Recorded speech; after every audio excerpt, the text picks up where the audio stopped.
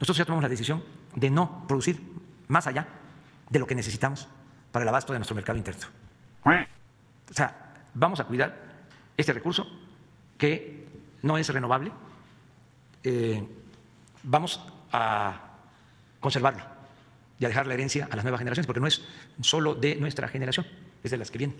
Entonces, no vamos a sobreexplotar. Se llegó a producir en 2004, 2003, 2004, 3 millones 400 mil barriles diarios de petróleo. Ahorita estamos a la mitad. Lo que vamos a extraer de petróleo va a ser la mitad aproximadamente de lo que se extrajo durante el sexenio de Fox. Y esto tiene que ver con la protección del medio ambiente. Lo digo porque ahora que se aprobó la ley eh, eléctrica, se argumentó mucho de que las empresas cuidaban el medio ambiente y estaban generando energía eh, eh, con recursos este, renovables, energías limpias, y que el gobierno estaba optando por quemar energías este, como el combustóleo, el carbón, el diésel, energías sucias. Pues no, estamos cuidando este, la materia prima, estamos cuidando el petróleo.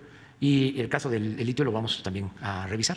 Eh, no tenemos nosotros problemas eh, porque en el tratado que se suscribió con Estados Unidos se eh, acordó de que el manejo de los recursos naturales de México es una decisión soberana de los mexicanos. el que se haya establecido esta cláusula en el acuerdo en el Tratado de Libre Comercio, llevó a una negociación eh, tensa, difícil, de más de una semana de rupturas de las pláticas con el gobierno de Estados Unidos.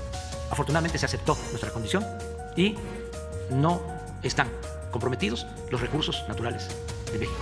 Somos independientes este, eh, para hacer de esos recursos naturales lo que más convenga a nuestro país y a nuestro pueblo.